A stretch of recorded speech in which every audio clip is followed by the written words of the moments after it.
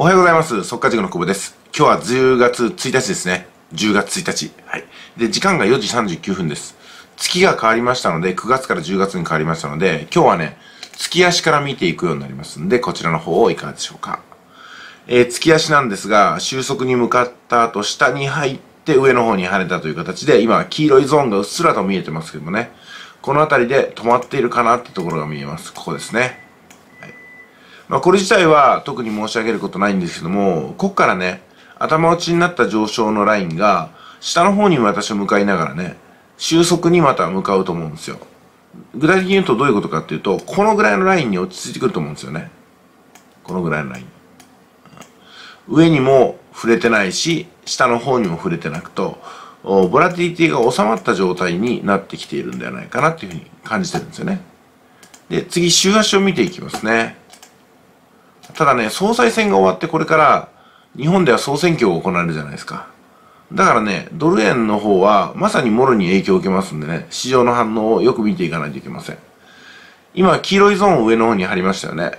これがね、抜けられなかった壁だと思うんですよ。ここでも抜けられてないですし、ここでも抜けてないし、ここでもね、抜けかけたんだけど抜けてないので、まあだから110円台、109円台、この辺りでうろうろする流れになると思うんですね。111円、112円っていう時代は、ね、昨日一瞬来たんですけども、まあこういうふうにね、上髭によって押し戻されて、え、ちょっとまだね、実現不可能かなと思ってます。はい、次なんですけど、デイリーですね。デイリーは大きな陰線を出してます。そこまではずっと陽線だったじゃないですか。だからこれがね、仕様の変わり目なんですよ。陽線一本槍で、1、2、3、4、5、6と、6日間、1週間、全部突っ走ってきました。根っこから入った私は、この一週間、全部の、陽線、大陽線をね、取ってきたわけなんですけども、昨日申し上げましたよね。全ポジション抜いてくださいと。うん、その後で、この下落が起きてるんですよ。ねえじゃあ4時間見ていきますね。4時間。一方的なトレンドでしょ、これ。うん。このトレンドっていうのは、まあ、この図を見るとね、まあ何と言いますかね、このダブルボトムから来ているトレンドだと思いますよ。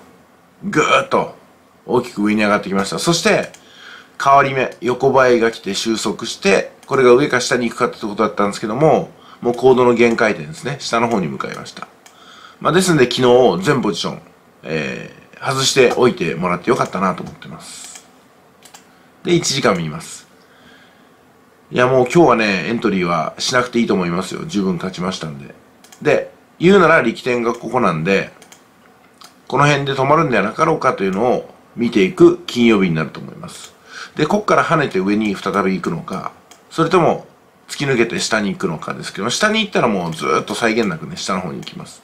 もちろん、ギザギザと N を書いて下の方に行くのはいつもと同じパターンですけどね。で、上に行った場合ですけども、上に行く場合は、まず警戒しないといけないのが、ヘッドショルダーです。高値圏のヘッドショルダーですよ。ちょっと形不細工ですけども、肩があって、頭があって、頭がね、真ん中が陥没してますけども。で、ここにもう一個の肩を作るんではないかなっていうふうに考えていくんですよ、これは。で、この辺上昇して、横ばいになって、また下降に行くとしたら、このネックラインを割って、大きく下に行く可能性があるってことをリスクエッジしといてくださいね。まあ今日お話しするのはそのぐらいですかね。あの、ヘッドショルダーみたいなやつが来るかもしれないんで、そこへの警戒は必要だということ。その他は、ただ見守っていればいい金曜日です。えー、総裁選もう終わりましてねえ、多少ぐらつくんじゃないかなと。今、組閣人事してますけども、その辺もね、ちょっとね、今朝のニュース、まあもうちょっとですけども、あとね、2、3時間始まったら、ニュースが始まると思うんですよ。そこで、昨日の組閣人事の概要が発表になると思いますから、それに合わせて市場がどう反応するか、それを見る金曜日になると思います。えー、そして、10月に入って、えー、月、カーと来ますよね、またね。えー、っと、だから、10月の1日がフフライデーですから、4日、5日ぐらいですか。この辺で緩やかに、えー、これはね、対策を立てていきましょう。とりあえずね、今日と、えっ、と、来週の月曜日4、5と、ここでエントリーする機会はほとんどないと思いながら、しっかりと観察する場所にしてみたいと思います。特に派手なトレンドがあった後ですからね。これは落ち着いて収束に向かう可能性が非常に高いです。ただ反発して大きく下にブレるってこともありますんでね。うん。まああの、十分儲けたんだから、見るだけ見ておきましょうってことですね。じゃあ、今回は以上です。